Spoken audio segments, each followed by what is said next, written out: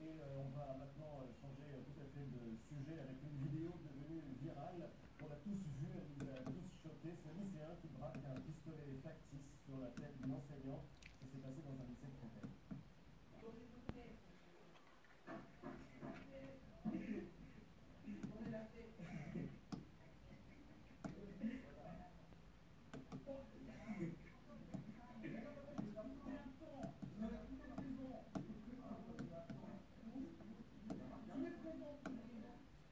Pour en parler, le Benjamin du gouvernement, il est secrétaire d'État auprès du ministre de l'Éducation nationale et de la jeunesse, Gabriel Attal.